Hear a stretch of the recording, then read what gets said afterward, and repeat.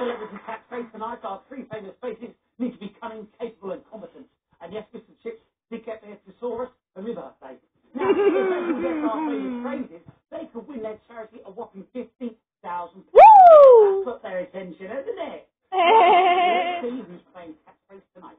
First up, he's the most successful gymnast in British history. I asked him how flexible he was, and he told me he was free on Friday, Saturday, and Sunday. It's the amazing!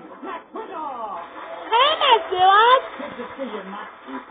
Now, next, she's a former Geordie Mhm. Shore star and queen of the jungle. Let's hope tonight isn't too much of a trial. It's the wonderful, the beautiful Vicky Pattison. Hey, Stevie Patterson. Thank you. And finally, he's the hilarious host from The Last Leg. But will he have the last laugh tonight? It's the brilliant Alex Brooker. Hey, Stuart. Now, this is a very strong lineup. Wow, wait, how are you, Matt? I'm good, thank you. Yeah, very good. Thanks for asking.